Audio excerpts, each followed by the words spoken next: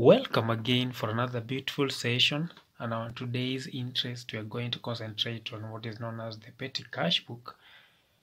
And here we have a question that we are going to use to illustrate on our understanding. And before that one, I just want us to have an highlight on actually what petty cash book is.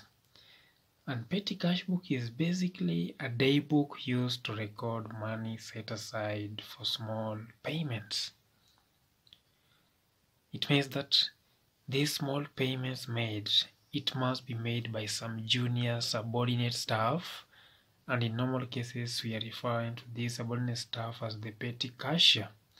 So we have the petty cashier who receives what is supposed to be paid from the main cashier. So, in other words, the main cashier delegates duty to the petty cashier.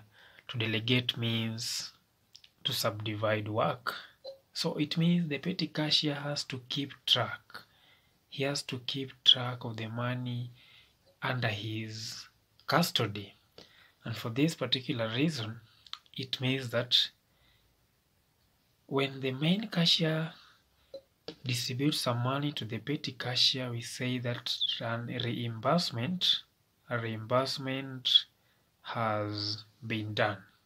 So it means the petty cashier can choose to keep what is known as the impressed system. An impressed system refers to a scenario or a situation whereby the petty cashier makes small payments at intervals. Remember, payments cannot always be made at once because they keep on accruing over and over again. That is why the imprest system is always employed. Now, here we have a question. This is what it states. A petty cash of Sinachuki traders operate a cash a petty cash book on an imprest of 2500 so the imprest is 2500 it means this is what they keep on a monthly basis. Every month they should not go below 2000 it means their payments will always revolve around this amount the total okay? On 1st February 2010, she had a cash in hand of 150 and was reimbursed the difference by the main cashier. So before this petty cashier began the, making the payment, he had a cash balance of 150. 150. This one means it was carried forward from the previous period, which was January. And the difference that was reimbursed, the reimbursed amount is supposed to be 2500 minus 150 giving a total of 2350 because you're told that the, the balance was reimbursed to him by the cashier to restore her cash float. It means for him for her to restore the cash float he must be given this amount of money to keep under his uh, custody. Now you're told the following payments were made during the month of february. Now, when payments are made, remember that a petty cash book will normally follow the normal T format of a ledger. T format whereby we have debit on the credits uh, on the left hand side and credits on the right hand side. You're told that amount received by the petty cashier is debited while payments credited.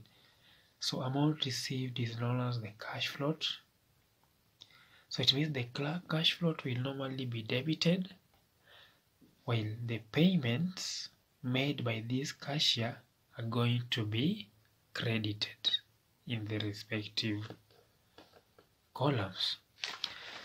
So I want us to begin our entries and we are told that this balance brought forward was on 1st of February. So we have the date on 10, 20, 2010 February and an amount of 150 was received on first. Detail here refers you are trying to explain the origin. Where did the money come from? So it is the balance brought forward from the previous period. Then before any payment was made a reimbursement on the same date was made of an amount of 2350 which is the difference. To restore the normal imprest system that is supposed to be made. So when you add these two it's supposed to give you 2350 and this one was basically reimbursement. It was done to him. Then now we look at the payments that were made. On first traveling expense. So first we have traveling. The amount was 110 now these columns towards the right are going to include the particular items that were paid. So it means you're supposed to have the first traveling column the amount was 110 the same amount. Then second correcting fluid was 200 the detail here was correcting fluid remember collect, fluid is used in vehicles. So it is part of traveling. The amount of 200 again it falls under traveling.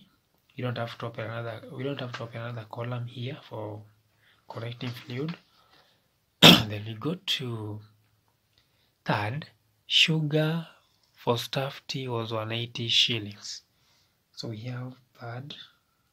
Sugar of an amount of 180 shillings the total. But because now it is for staff tea it doesn't fall under traveling we open another account known as staff tea. Remember staff tea is a very common expense in offices so we have 180 shillings. Next date is stamps. Stamps were paid an amount of 255 stamps fall under common expenses known as postage and stamps. So we open an account known as postage. So we have postage amount of 255 shillings. The next was 10th 10th we had telephone 255. so we had telephone was paid. That is due to communication. 255 again it falls under telephone as an expense on its own. We record it here. We go to 15 entertainment of 130 so we have entertainment on 15 130 because it cannot fall in any other column here we create a column known as entertainment an amount of 130 then we go to 18th again we have postage.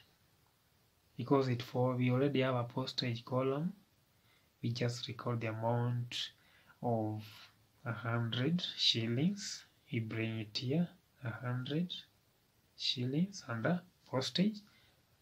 Then we go to 20th we had bread bread was paid of an amount of 148 and it falls under staff tea so it is 148 under staff tea 25th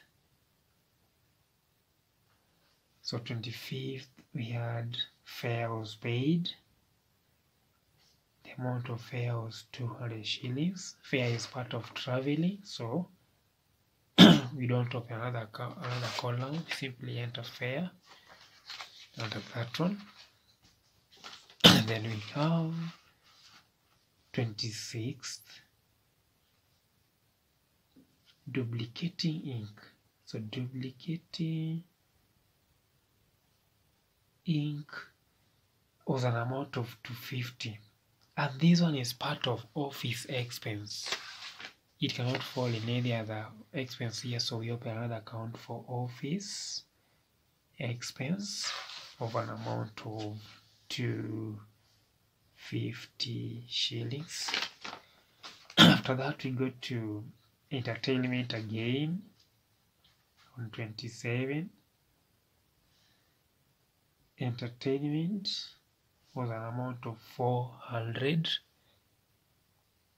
then it falls under the column entertainment 400 we go to telephone on 28th so we have telephone of an amount of 100 shillings. It was paid under telephone 100 shillings. Then we go to 28th the last payment that was made. Atieno oh, a creditor was paid 150 now payments made to creditors or payments received from debtors they are made under what is known as ledger. So ledger combines the debtors and creditors amounts which are received or which are paid out. So we have Atieno is the name of the debtor. The amount was 150 it's supposed to fall under ledgers the next thing to do after this is to get the total of each which are going to be because they are expenses they will be debited on the debit side of this account. For example telephone account will be debited with the total of this amount. So when you add this one this is 310 510 when you add this one supposed to be a double underline this one is 328 when you add this supposed to be 355 this is supposed to be 355 again. 355 you double underline everything. This is 530 double underline everything this is 250 double line and this one is 150 when you. Add and then this one because this makes the total here makes part of the payment. This value when you add the, all this should not be more than the imprest of 2500 so you're going to see in fact there should be a balance. If it is used all or there's some balance. So this is 310 410 we have 14 plus 255 plus 255 plus 230 plus 148 plus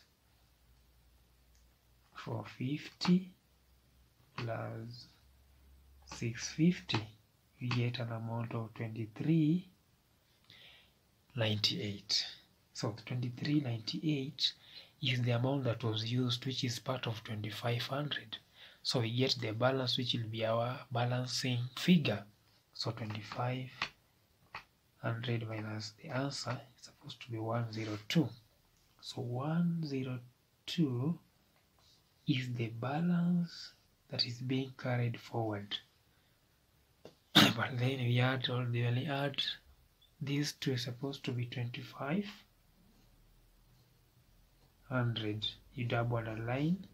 We bring down 102 and then these are supposed to be 25 when you add this one to all these supposed to be 1 2500 so it means the balance that is remaining in these accounts is 102 shillings which is supposed to be carried forward to the next imprest period.